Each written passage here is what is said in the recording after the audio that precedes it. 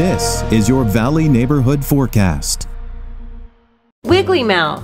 Woggy mouth. No. Painting. Wig. Wiggy Mouth. It's Woogie Moth painting. It's Walgamuth painting, and yes, we'll paint anything.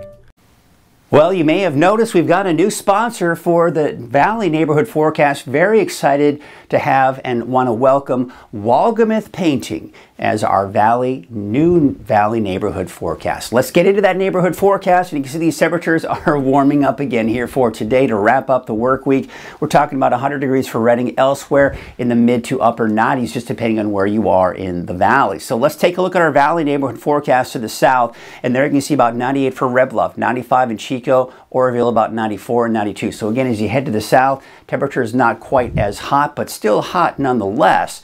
As we take you up to the north, this is where we have temperatures around 100 for the city of Shasta Lake and Redding and Anderson, 99 for Palo Cedro.